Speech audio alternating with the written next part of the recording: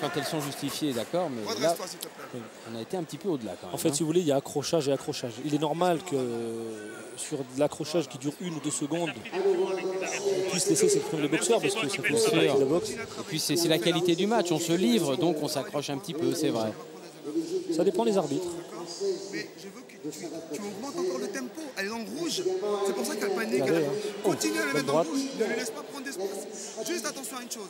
Elle attend pour s'asseoir un petit peu pour contrer avec son bras. Une sortie pied Attention à ça. en bas, Tu à l'intérieur. C'est bien fait. Voilà, on la voit bien ici. Pareil en contre, là. Donc quand tu mets tes points, Ouais, vous voyez là, accrochage, elle pousse un petit peu, elle utilise la, le déplacement de la marocaine pour fouetter ensuite. Voilà, c'est une glissade. Dommage, la marocaine se fait contrer. championne du euh, monde sur ce round-là. Championne du monde. On y va. C'est la dernière reprise, la quatrième entre Aziza Oubaïta et Sana Adja. Et rien n'est joué, Jafar, loin de là. Oui, le match ouvert. hein, euh.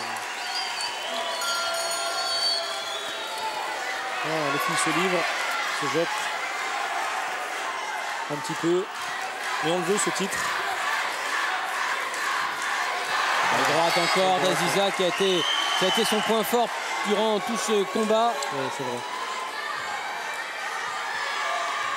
En fait, je ne sais pas si elle s'en rend compte, mais la Marocaine lui facilite le travail hein, lorsqu'elle déclenche, je le répète, hein, avec cette jambe arrière. Elle pose des problèmes, la Marocaine, quand elle déclenche, euh, voilà, avec sa jambe arrière, vous avez vu, un déséquilibre, esquive derrière. Elle ne prend pas tant de coups que ça, hein, parce qu'elle gère après, elle arrive à contrôler. Et hop, voilà, déplacement après, esquive. Ouais, elle fait joli. Et Sanaja qui accuse le coup, là c'est une belle droite euh, française. Ah, et elles mettent le feu ici euh, à Bobigny. Les deux protagonistes ici une qui se livrent totalement. Une blessure, je crois qu'il y a eu un coup de Oh, tête. il y a l'arcade euh, gauche de la marocaine Sahanadja qui a cédé a priori. Je crois que c'était un coup de tête. Elle est bien ouverte.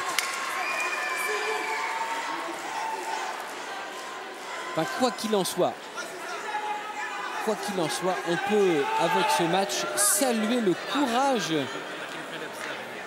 et le sens du combat de ces deux jeunes femmes. Franchement, il y a peu d'hommes qui réussissent à mettre autant d'intensité dans un combat de savate aujourd'hui. Là, moi, je suis bluffé. Je, je dis bravo, mesdames. On va le revoir au ralenti. Regardez bien. Il y a ici l'avancée de la française. Oh, là, là là là là là là là Oui, là c'est très très net. Moi je l'avais vu et euh, l'arbitre est bien placé. Donc euh, dans un déplacement où il n'a pas vu l'action.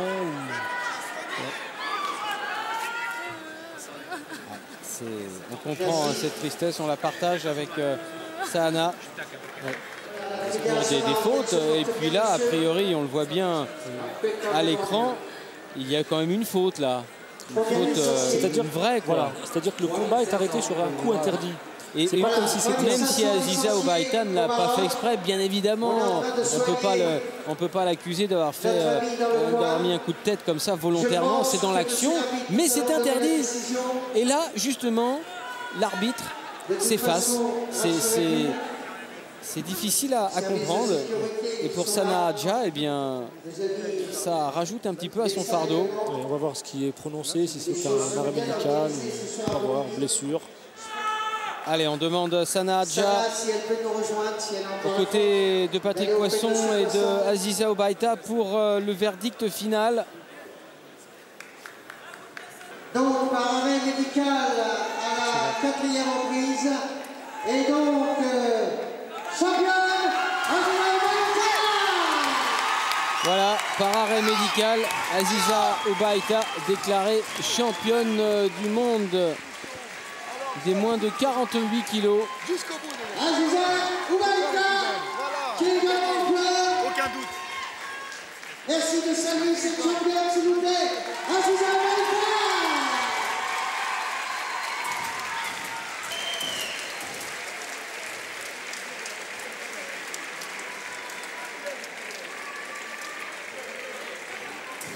Let's see how she's at with that.